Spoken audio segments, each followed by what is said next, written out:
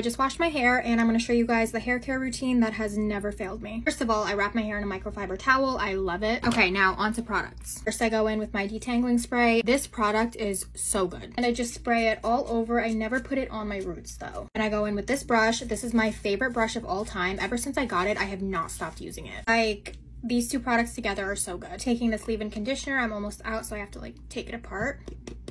There we go. And working that through. Before I put any heat on my hair, I apply the Wow Dream Coat. It makes my hair so shiny. And I top it off with this heat protectant. I'm not blowing out my hair tonight, but when I do, I will apply these products. And that's it. I rarely ever use any other products. Bye!